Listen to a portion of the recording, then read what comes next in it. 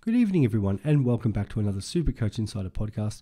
My name is Swiz, here to talk all things BBL Supercoach, round one recap, and round two team discussion.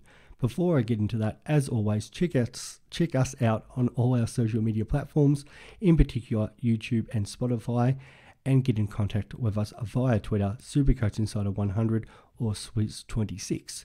All right, for my team, always bowl first. Probably should have batted first. 1,092 last week uh, which leaves me 6,173 overall, which is very similar to a lot of the experts, including last year and the previous year's winner, Andrew, uh, who's in a similar position. And he said he was in a similar position last year, just got a few less rounds to do the catch up work. But um, this is what our long term planning uh, comes in. It's not all about the first week, but congratulations to those who did have a great first week, um, in particular the uh, weekly winner uh, which was Ryan with 1531. Uh, had seven uh, heat players in there uh, with Bartlett, Kuhnemann, Johnson, Swepson, Walter, Munro, and Neser. Uh, so that looks fantastic. Jugs isn't set up for the Adelaide and Thunder rounds compared to a, a few of us, but you know is a thousand dollars richer than many people playing. So congratulations to him. Uh, for me, yeah, the, the positives there were Munro, as much as I had the VC on him leading in until I traded in Neser, but you know, still great to own for 190. Sutherland with the 177, uh, you know, can't be disappointed with that. And even Cooper Connolly getting 87, uh, Tom Curran of the 128. So, yeah, pretty chuffed about all that. Unfortunately, few let me down. Sam Harper, two bats, wicket keeps, and only scored a five. Uh, the only good thing is he will become a good loophole option this week. Uh, so yeah, that, that was disappointing. And then because I loaded up on so many Renegades and their game got abandoned, um, that was unfortunate as well. A couple of the big ones, uh, Swepson was 162 last week. Didn't have him, but well done to the 35% that did. Uh, yeah, made 30k or 32k and has a break even of minus 70. Ben Dwarshuis with that family tra- tragedy, uh, 157, you know, just brilliant bowling. And, uh, yeah, to, to back up after that is just, a, you know, credit. Bartlett with a 156, who was somebody who I had owned in the preseason. Uh, so that was a bit frustrating watching him do so well. Behrendorff bowled a brilliant over. I think it was a double wicket maiden for that 108. Uh, so, yeah, there was some of the best performance there. Hilton Cartwright who's actually owned by 4.4% uh, with a nice 112. Definitely benefited with Maxwell out of the team that week. So, and even Steve Smith at 4%, 96, which uh, he got his break even, actually went up 8k to 275. So if you were one of the very few that own him, very easy trade for him down to Matt Short this week.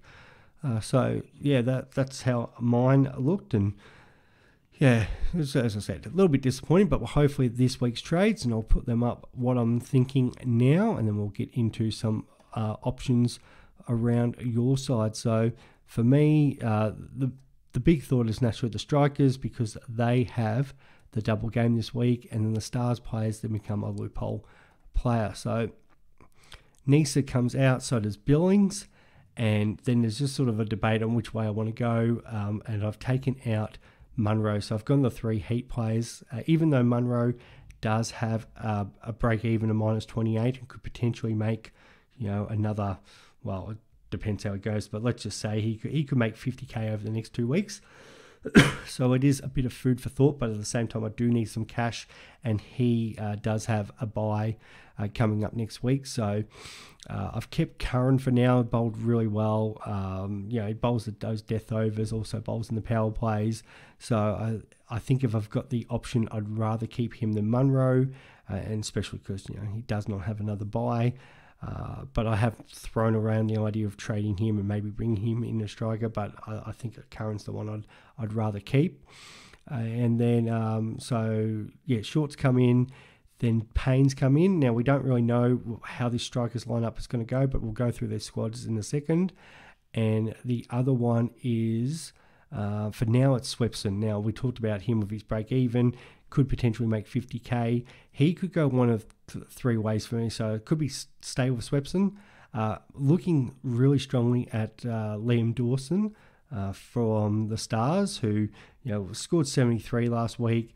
Is uh, uh, he's 108k and would give me that extra stars player for next week, where that would mean I have three stars. I could trade two in, which would give me five for the round three and round five buys. Uh, so round three and five doubles. And then the Renegades, I could trade one extra Renegade in, so I'd have 10 of them, and then a Curran as my 11th player. Uh, so that gives me a lot more flexibility. Uh, I've also considered a Thunder player as well, and that would give me three. But the fact I've already got two in there, I don't really need the other one. I could potentially look at an extra striker if, say, a Manenti doesn't play the first game. Excuse me. So yeah, there's a f- few options there. So he's the one that can move, and this all depends on tomorrow night's game. So this round, round two, we've got opening up is Adelaide versus the Sydney Thunder on a Tuesday night. Then we've got Perth versus Hobart, Renegades versus Brisbane on the Thursday under the roof, uh, which is probably the game I'm most likely to go to. And then the Sixers are playing Adelaide, potentially weather affected again. Fingers crossed it's not, but there's a bit of talk that there could be some rain around that night. So we'll have to see how that works out.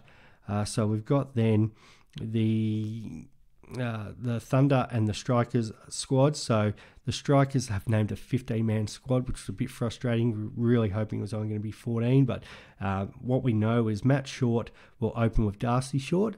Uh, number three will be Lynn, four Hose, five will be Weatherald, and then what happens after that, we're not sure. So the rest of their squad is uh, Agar, or their quicks are Agar, Doggett, um, they've got Thornton and Payne. And then they've also got the all rounders in Bazley and Overton, and the spinners Manenti and Boyce. And then they've got Khan or Can, and he's not going to make this. I'd be very surprised if he makes the side. So let's just call it a 14 man squad there. And then uh, and Nielsen, who's the wicket keeper, who I left out there, but he'll bat eight or nine. So it's just the question of okay, who are they going to go with at six and seven, and could they potentially go both Bazley and Overton? Uh, and then does that mean that, say, Nielsen at eight, do they go one spinner in Manenti and Boyce? And then do they go just the two quicks? Do they load up on the three quicks, which I think is the most likely thing, which would be then Agar. Um, you'd hope for us, uh, I'm, I'm, more hopeful, but I think Payne would be one of them. And then one of Thornton and Doggett, probably most likely Thornton, uh, which means probably one of Bazley or Overton gets left out.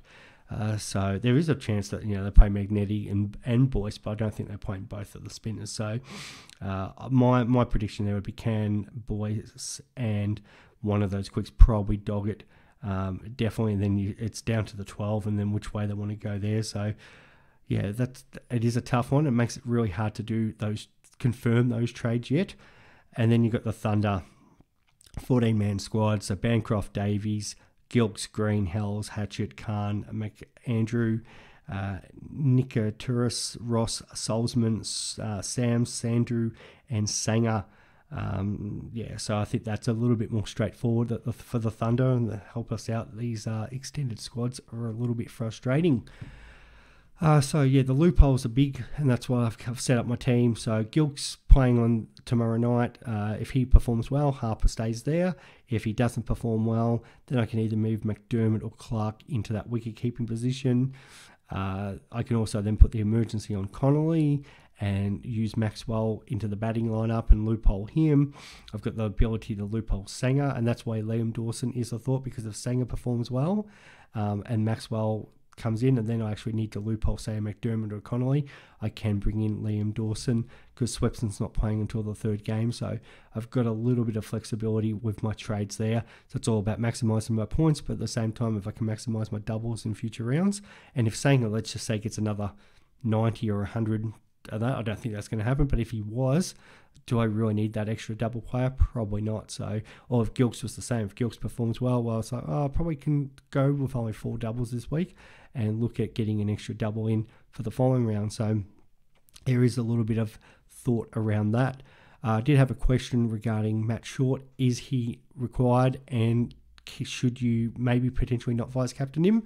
Uh, I think just you have to have a look at his scores from last year to know this this guy was the number one player in Supercoach. It is a massive risk uh, not to um, get on him. If if you don't bring him in and you put that cash, or let's hypothetically say, if I don't get him and keep Munro, and I could potentially do that, I could keep Munro. Munro goes well, makes an extra fifty k. Uh, and maybe look at say an Agar for example, or upgrade one of my other players So let's just hypothetically say I did that.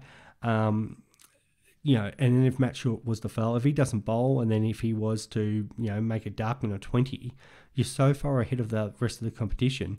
Uh, yeah, you're in a great position, and that point of difference could be huge for you, especially if the other strikers players you go for, let's just say it's a Bazley or a Payne or Thornton or whatever, go really well, then yeah, you are massively ahead of the game.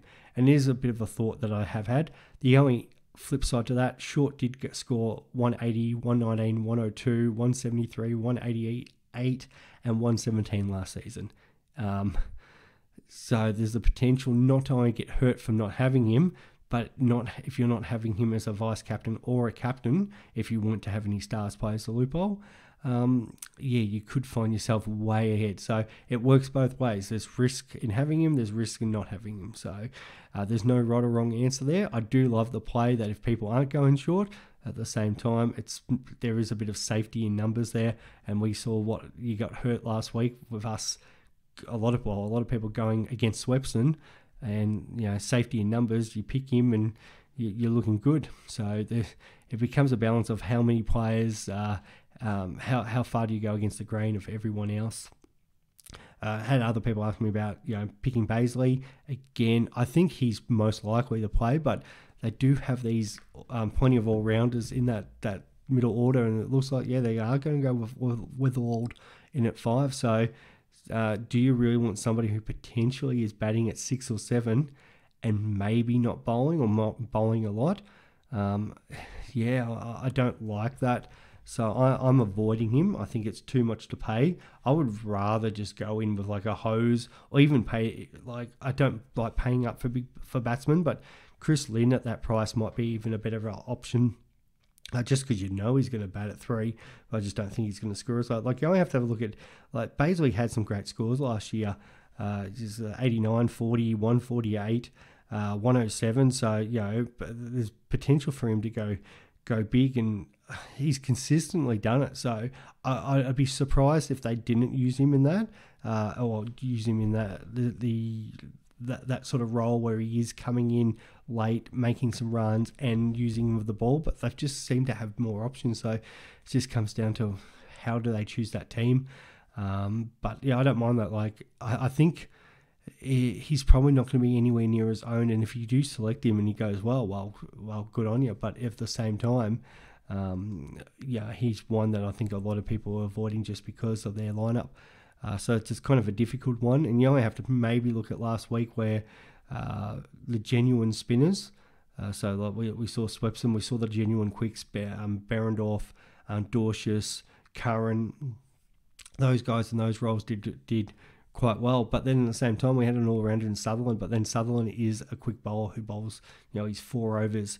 Uh, Bazley is how many overs is he really going to get? So that's and that comes down to how Adelaide line up. Like if they pick, let's say, Payne, Agar, Thornton, and potentially, let's say, four, four, and three, so that's 11 overs. If Matt Short bowls at the top and say bowls two, you got 13 overs. If they bowl, then pick a spinner in Manenti or, or Boyce, there's probably another three or four overs. So there's 14, uh, what are we up to there? Like 14 overs already. Uh, so yeah, there's if Overton and um, are both in, you're probably looking at two, four, three, three there. Uh, so potentially he could still get his economy rate bonus and be really good. Potentially there, does he miss out with the ball? So it's a it is a hard one. There's no answer until we get those final squads. Uh, so yeah, but I don't mind it. It's a point of difference, and I don't mind even the idea of rolling the vice captain on one of those bowlers. Like if they could do anywhere near what they did to the Thunder last year, where Thornton and Agar went through and uh, yeah, again, you're going to be so far ahead of the game, but just it's such a big risk not going Matt Short if he was to, you know, score well, especially a game at Adelaide where we know he can just tear a game apart. Um, so yeah, that's that's where I'm thinking. And uh, by the looks of it, just talking to a couple other people, yeah, there's, there's a bit of thoughts with that. There's some people looking at getting those stars or renegades, and probably not as much with the stars. That's just because not only are they not playing this week, but um, they were pretty dreadful last week, but even a couple of those uh, renegades like Sutherland with his break even, some are trying to get him in now. Uh, so you've got the options for, for round three. I don't mind that so much. Uh, or even, you know, how far do you forward plan and go? And I know somebody has messaged me about Ollie Davies. Uh, I really like how he plays. He's one of my favourite BBL players. Uh, and yeah, if he was to get like that, that could be a great point of difference. Like if you're, I wouldn't boost, but if if you've already got a couple of strikers there and you bring in another two to give you four, could you potentially roll the dice on Davies? He's already gone up 8k. You put the loophole on him, and if he was going well, well, great. Um, that's a yeah another bit of a point of difference, and then that's one less problem you've got to worry about for round four. So yeah, a bit of food for thought there. I wish I could have a, a bit more certain answers over that, but yeah, there's a little bit up in the air. And the other thing is, yeah, before you lock in those strikers players, just double check that weather in Sydney because there'd be nothing worse than it changes and it serves all showers. And um, yeah, then you then like last week where we saw the Renegades and like got hurt because I had a lot of Renegades and even the Perth players, we didn't probably get the best out of them. Um, and we probably got uh, those people had Scorchers were really lucky because of how well they performed against the Stars, but really only got the one match out of them. And if that was looking like the case, well, do you really need a whole lot of Adelaide players if they're only going to play one game? Uh, so yeah, it's it's hard to totally plan for the future because you know we could get weather affected games. We're probably less likely heading into January, but you know it is you know Australia and is you know Melbourne and Sydney, and it'll rain on you know a 40 degree day. It's just the way it goes here. So yeah, that's and hopefully uh, yeah that's sort of got got you at least thinking about your sites. Um, and we, you know, I'll probably be throughout on Twitter. You know, feel free to uh, not even just myself, but ask any of the other experts out there. We're, we're pretty accommodating, and asking questions, and hopefully we can help uh, you guys make some ch- last minute changes. But yeah, really need to probably be on at six thirty tomorrow, um, and yeah, send out some messages and that. And once those uh, sites come out, and we can see if we can help with those last minute changes. All right, guys, all the best for round two. Hopefully, you had a really good round one and you can build on that. And we will talk to you soon. Bye.